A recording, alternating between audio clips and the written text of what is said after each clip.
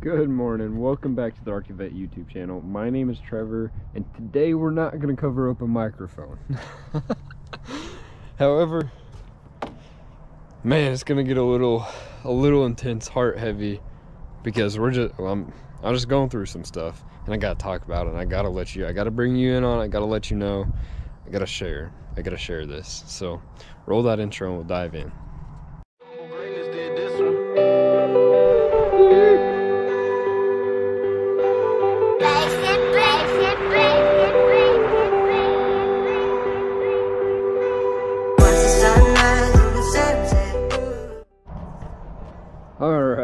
You might be wondering, well, what could be what could be so hard and heavy that's on Trevor right now? What's weighing him down?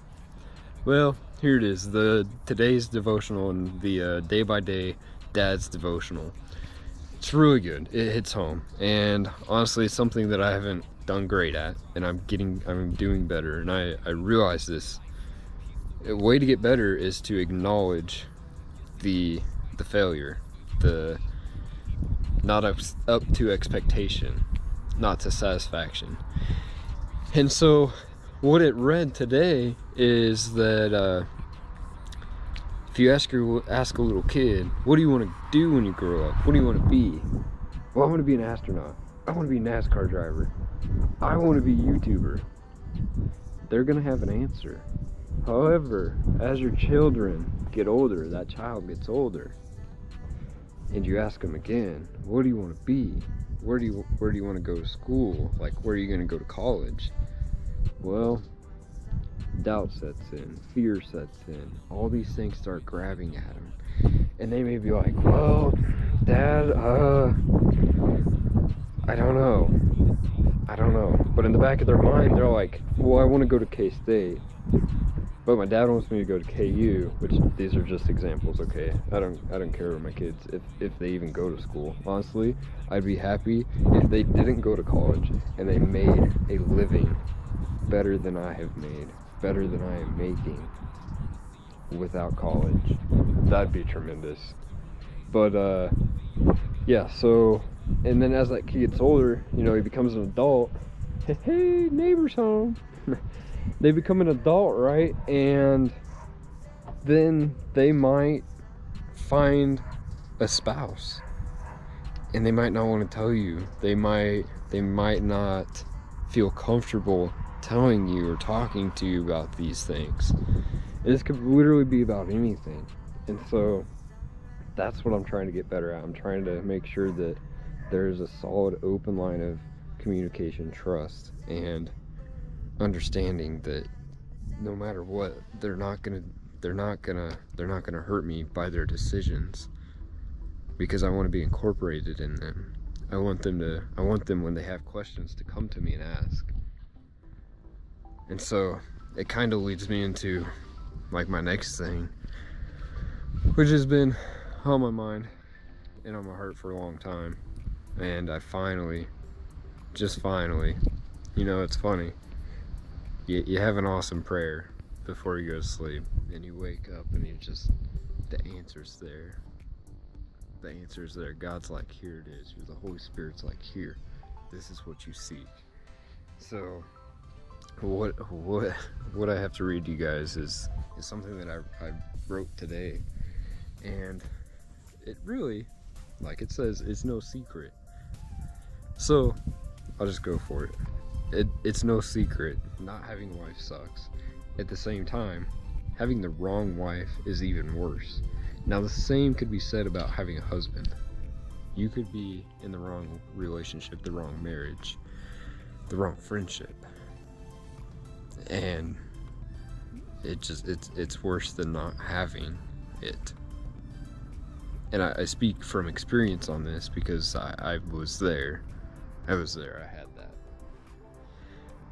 so then I continue and I say, I am praying that these things before me will lead me, before me, lead me to become the man that God intended for my future wife.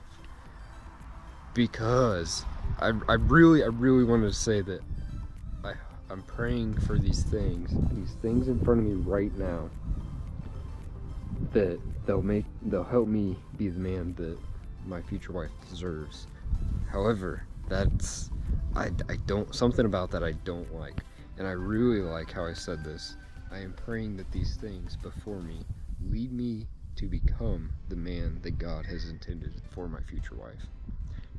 Because I, I wanna I wanna get to heaven and see the a closer reflection of what I could have been versus who I am than a further um, reflection, if that makes any sense. I feel like God might be like, hey, this was your full potential, and you made it here. You made it here, but you could have gone all the way here. And I really hope that I can get as close to here as I can. So, all right, all right, all right. Continue, and I say, I've got to, I gotta quit seeking temporary when eternity is sitting right in front of me. Eternity is sitting right in front of me, but I'm sitting back here, and I'm, oh, good old Chevy. I'm sitting here, and I'm accepting, settling for temporary for temporary satisfaction, temporary, anything temporary, versus waiting for the eternity. And then, uh, yeah, that was, that was it. That was it. And so I say at the very end, I'm like, this is, this is the biggest struggle of my life, and it's true. It really is true. It's the biggest struggle that I have because I would you guys don't. You know, I'm a single dad. Single dad of three boys. And it's not easy. It is very, very difficult. And you know, yeah, their their mom is gets to see him every other weekend. However, for a man with custody of children, it's not equal to what women with custody have at all and I have to be okay with that. I had I just have to accept that because that's that's just how it is. And instead of putting my faith in in the system, I put my faith in the Lord, in God, because I know that He will continue to provide. He has, and He will continue. And you know, um, man, it, it, it's hard. You know, I I I really I see married people and I'm like, man, they they got a good marriage. Yeah, they might have struggles, but I, I can't wait for my day to, to have that because I want to show the boys how to treat women. Now I can still do this. I can still show them. It's easy. For example, the mom, grandparents, the friends, I can show them with them. But you can't really show them how to treat a wife without a wife. I mean, right? I don't know. I haven't figured that one out yet. And so, I just, I don't know. I hope that these things in front of me, and I pray that these things in front of me lead me to be the man that God intended me to be for my future wife. I don't know who she is. I don't even know where she lives. I, I just, I don't know but I trust that he has he has somebody and maybe she's getting just as prepared for me as I am for her. I don't know. And that's okay.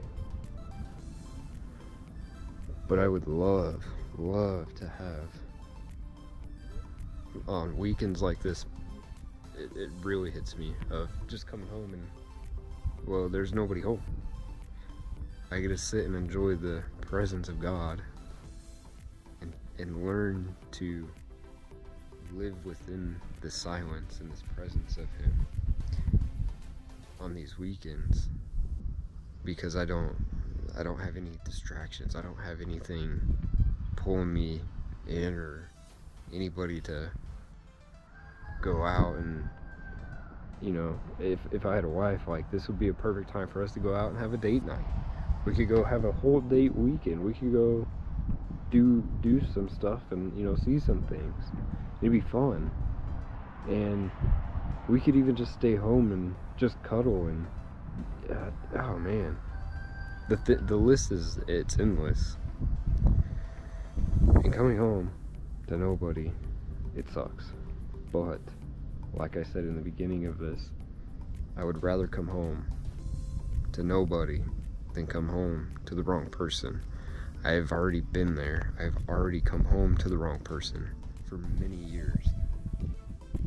Eh, eh, and I don't want to ever do it again. I don't want really I don't I don't want anybody to have to go through that. Now I know that there's some people that are going through that and I try to use my experience to help guide them, help them kind of see where they're going, what's going on, and to be aware. But, you know, some people take it, some people, they, they just, it doesn't click. Because also, just like when I was in that position, I didn't listen, I didn't, I didn't understand, and that's just how it was.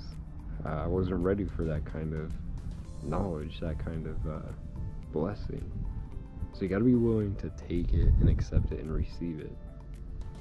And yeah, it's man, this got this got long, this got deep. Whew. God is here right now with me, man. It and this is this is something that I think he's he's using me for to try and help others. I don't know of any other way besides just here's my struggle and to share it with you guys. Because that's what we do a lot here. Uh, anyhow um, that's gonna that'll do it for today. And today I actually have a little bit more going on but this was a good little God and Trevor and the Arctic Vette family talk. Now don't worry don't worry. I've done prayed on this a few times. A few times. Um, I mean, a lot. so it's not it's not really something that like it, it, bothers me, but it's not weighing me down today. It's not uh, it's not gonna ruin my day. It's not gonna ruin the weekend. It's not. I can't let it have that crap, it doesn't because I've got God, and I've given it to Him, and I know that I trust uh, in my trust with Him, it'll be okay everything will work out. I just have to keep trusting him and putting my faith in him.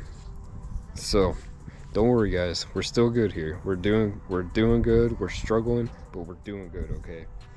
Now, what I was saying is today I'm actually going to be making probably two other videos that you'll see later on and they're to they're featuring my buddy and I'm super excited. So, uh that's why I keep looking over towards the road because I'm waiting on him to get here so that we can do this stuff. It's going to be a lot of fun.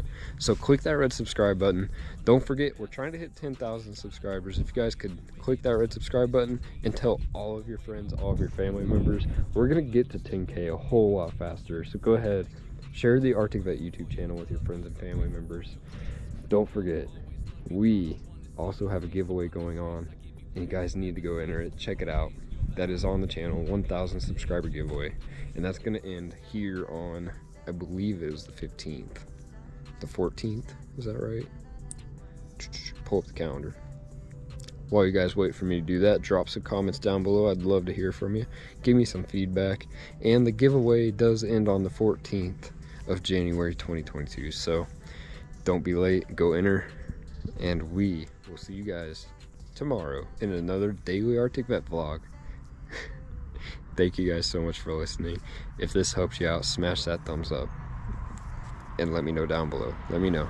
Let me know if this hits home because this is really hitting home for me and it's hitting home for a lot of people.